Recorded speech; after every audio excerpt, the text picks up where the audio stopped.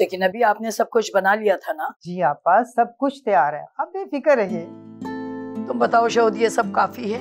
जी अम्मा काफ़ी है। मैं तीन चार किस्म की मिठाई ले आया हूँ रबड़ी ले आया हूँ फ्रूट्स भी लेके आ गया हूँ। चलो ठीक है। ये फायजा और फातिमा कहाँ रह गई अभी तक आई नहीं आ गई अम्मा मैं बस आ गई।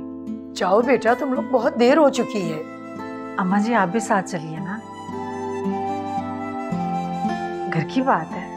अरे नहीं बेटा देखो शादी चाहे बहन भाइयों के यहाँ हो कुछ भी हो लड़की की जब ससुराल हो जाती है ना तो फिर वहाँ जरा ख्याल रखना पड़ता है। और बेटा ये तो हमारा खानदानी तरीका है। मेरा इस तरह जाना मुनासिब नहीं है।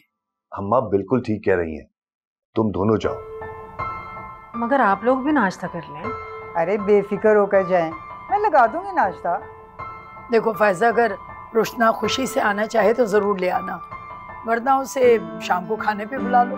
वैसे वो अपने घर आबादी रहे तो अच्छा है। यूँ भी ज़रा यहाँ आना जाना कम रखे तो मुनासिब रहेगा। हाँ माँ बिल्कुल ठीक कह रही हैं। चाहे सकीना आप जल्दी करें चीज़ें रखवाएँ देर हो गई है बहुत हाँ मैं तुम्हें सारी डिटेल्स शेयर कर दूँगी। पैसों का कोई मसला नहीं होगा तुम फ़िक्र नहीं करो। लेकिन बस याद रहे कि मेरा काम हो जाना चाहिए। ठीक है ना? ओके ठीक है। हेलो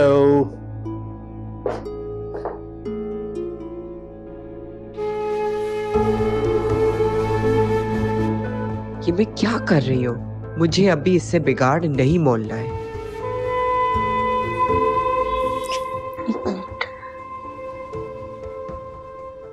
मैं जानती हूँ शाजिया कि इस वक्त आप बहुत डिस्टर्ब हैं। लेकिन जो होना था वो तो हो गया। क्या ही अच्छा है। अगर हम सब मिलके साथ इस घर में रहें, मेरी तरफ़ से आपको कभी कोई तकलीफ़ नहीं होगी। आई प्रॉमिस मुझे कोई अननेसेसरी एडवाइस की ज़रूरत नहीं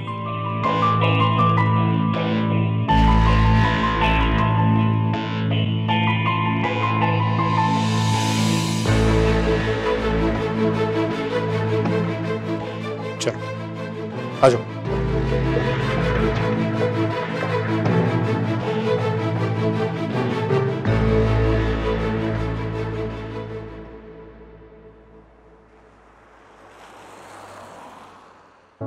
भाभी अगर आप इजाज़त दें तो रुशना को घर ले जाऊँ अरे हाँ हाँ जब जब लेके जाओ।